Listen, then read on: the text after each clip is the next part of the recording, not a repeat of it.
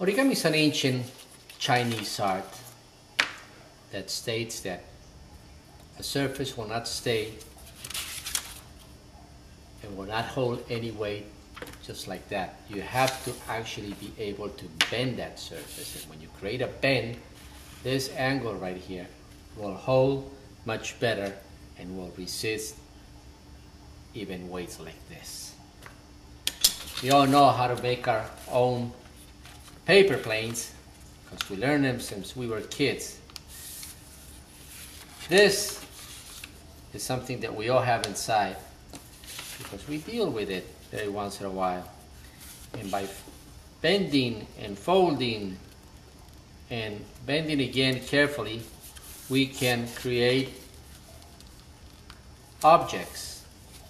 Objects, in this case, that will fly. Well, instead of flying,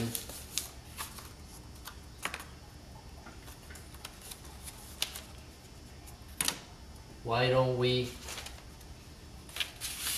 create a shape and cut it in such a way that we can actually fold it, bend it, and make a chair with it.